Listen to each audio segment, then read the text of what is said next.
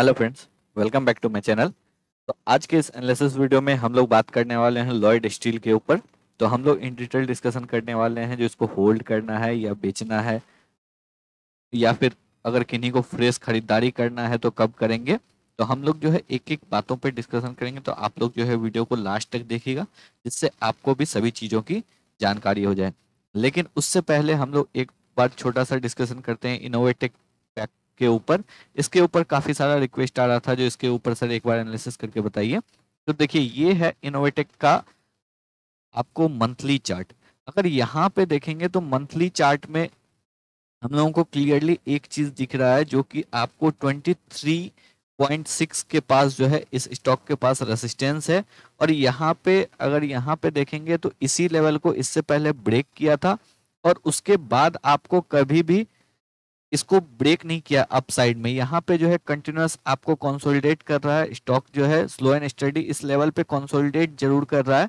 But यहाँ पे आपको कहीं पे भी मूवमेंट नहीं हो रहा है।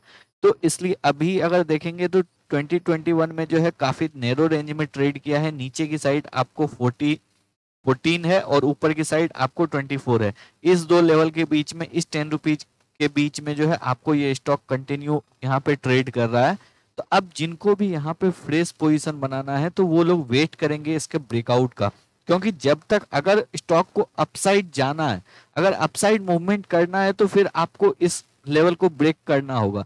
तो जो लोग भी यहाँ पे फ्रेश पोजीशन बनाना चाहते हैं तो वो लोग यहाँ पे मेक श्योर करें कि इस लेवल का पहले ब्रेकआउट होने दे, उसके बाद ही आपको जो है यहाँ पे एंट्री करना है। एक बार अगर यहाँ पे आपको ऊपर की साइड ब्रेकआउट दे देता है 24 के लेवल के ऊपर तो फिर अगर हम लोग नेक्स्ट टारगेट देखेंगे तो इमीडिएट अगर आपको यहाँ पे 33 का एक रेसिस्टेंस है और उसके बाद फिर जो है आपको 55 का रेसिस्टेंस है। तो अगर ये 24 का लेवल ब्रेक होता है तो फिर अपसाइड जो है आपको मिनिमम टेन रुपया यहाँ पे मिल सकता है और अगर इस लेवल को भी ब्रेक करता है तो फिर आपको 55 तक ये स्टॉक इजीली जा सकता है। तो इसलिए जो है इस स्टॉक में अभी फ्रेश पोजीशन नहीं बनाना चाहिए। क्योंकि ये चार्ट में ऐसा दिख रहा है जो अभी आपको बिल्कुल रेंज बाउंड है तो एक बार इस रेंज को ब्रेक होने दीजिए। 24 के ऊपर स्टॉक को सस्टेन करने दीजिए एक से दो दिन, फिर जो है हम लोग यहाँ पे फ्रेश पोजीशन बना सकते हैं। या फिर जो लोग नीचे की पोजीशन से ऑलरेडी बना चुके हैं तो वो लोग जो है अभी आपको एग्जिट करना भी सही नहीं रहेगा, वो लोग आप होल्ड कर सकते हैं। तो चलिए अब हम लोग वापस आते हैं लॉयड स्टील के ऊपर। तो लॉयड स्टील में जो है इससे पहले भी मैंने दो वीडियो बना रखा है और यहाँ पे जो है, इससे पहले अगर आप लोगों को याद होगा तो इस ब्रेकआउट पे हम लोगों ने पकड़ा था। अभी जो मैं बोल रहा था, जो यहाँ पे भी देखिए एक अच्छा कंसोलिडेशन हुआ और उसके बाद ये ब्रेकआउट हुआ, जहाँ पे कि हम लोगों ने इसको कैच किया था और उसके बाद जो है स्टॉक वहाँ से देखेंगे तो सेवन टाइम्स से ज़्यादा हो चुका है। More than seven hundred percent का रिटर्न जो है यहाँ पे आपको दे चुका है। सॉरी यहाँ पे आपको more than five hundred percent का रिटर्न हुआ है। क्योंकि हम लोगों ने यहाँ पे आपको इस हाई के ऊपर पकड़ा था। तो अगर आप यहाँ से देखेंगे तो फोर रुपीज़ से अभी सिक्सटीन रुपीज़ के आसपास जो है यहाँ पे ट्रेड कर रहा है। तो जो लोग भी यहाँ से पोजीशन आप बनाए हैं तो वो लोग जो है यहाँ पे वेट करेंगे क्योंकि या तो आप जो है अगर आपके पास सौ क्वांटिटी है तो आप उसमें से जो है ट्वेंटी फाइव क्वांटिटी को सेल कर दीजिए और जो है रेस्ट क्वांटिटी को होल्ड कीजिए, क्योंकि उससे क्या होगा, आपका इन्वेस्टमेंट निकल जाएगा और जो है आपका रिमेनिंग क्वांटिटी अगर ये स्टॉक और ऊपर रैली करता है तो आप जो है उस रैली को मिस नहीं करेंगे। तो ये तो था उन लोगों के लिए जिन लोगों ने आपको इस लेवल से या नीचे की लेवल से यहाँ पे होल्ड करके रखा हुआ है, वो लोग ऐसा कर सकते हैं। अब अगर जो लोग फ्रेश पोजीशन यहाँ पे बनाना चाहते हैं तो यहाँ पे देखिए जो, कहीं पे भी आपको रिट्रेसमेंट नहीं हुआ है। एक वीक यहाँ पे ज़रूर नीचे की ओर स्टॉक गया था बट फिर से जो है आपको फ्रेश ब्रेकआउट दिया था और कंटिन्यू आपको हाई पे ही ये स्टॉक ट्रेड कर रहा है।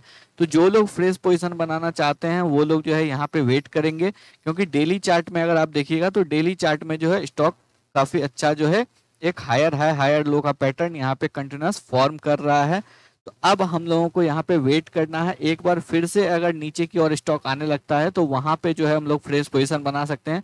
अभी तो हम लोग ऐसे भी नहीं बना सकते हैं, क्योंकि स्टॉक कंटिन्यू अपर सर्किट में जो है ट्रेड कर रहा है। तो इस स्टॉक में जो लोग भी आपको बने हुए हैं, वो यहाँ पे बिल्कुल होल्ड कर सकते हैं। स्टॉक काफ़ी अच्छा अप ट्रेंड में है। काफ़ी आपको एक अच्छा low higher low higher high बना, का फॉर्मेशन कर रहा है और काफ़ी एक अच्छे ट्रेंड में स्टॉक है। यहाँ पे फ्रेश पोजीशन भी बना सकते हैं, लेकिन उसके लिए आपको थोड़ा सा वेट करना होगा। लेकिन एक और चीज़ यहाँ पे याद रखिएगा, जो लोग भी यहाँ पे फ्रेश पोजीशन आपको बनाना चाहते हैं तो वो लोग इतना ज़रूर कीजिएगा, जो अगर आपको सौ रुपए का इस स्टॉक में रिस्क लेना है तो पचास रुपए ही अभी डालिएगा, क्योंकि स्टॉक वन वे रैली किया है, आपको यहाँ पे थ्री रुपीज़ से फिफ्टीन सिक्सटीन रुपीज़ तक और अभी भी ऊपर की ओर जा रहा है। तो फिफ्टी परसेंट क्वान्टिटी अभी आप ले सकते हैं सो so दैट कि अगर यहाँ से आपको forty five fifty rupees stock चला जाता है तो आप ट्रेंड को मिस नहीं करेंगे। और अगर आप आपके पास सपोज़ 50 50 परसेंट ही आपने डाला और स्टॉक स्टॉक अगर यहाँ से आपको फॉल होता है तो रिमेनिंग 50 परसेंट जो है आप नीचे के लेवल पे डाल सकते हैं। लेकिन अभी जो है फुल क्वांटिटी से यहाँ पे एंट्री मत कीजिएगा, क्योंकि ये स्टॉक आपको मौका ज़रूर देगा। हर एक स्टॉक मौका देता है, ये स्टॉक भी जो है आपको मौका ज़रूर देगा एक बार फिर से री एंट्री करने का। तो जो लोग फ्रेश पोजिशन बनाना चाहते हैं, वो लोग बना सकते हैं, लेकिन ध्यान यही रखना है जो आपको यहाँ पे 50 परसेंट क्वांटिटी से ही ऐड होना है और रिमेनिंग अगर स्टॉक फिर से नीचे आता है तो आप जो है रिमेनिंग 50 परसेंट से और यहाँ पे एंट्री कर सकते हैं।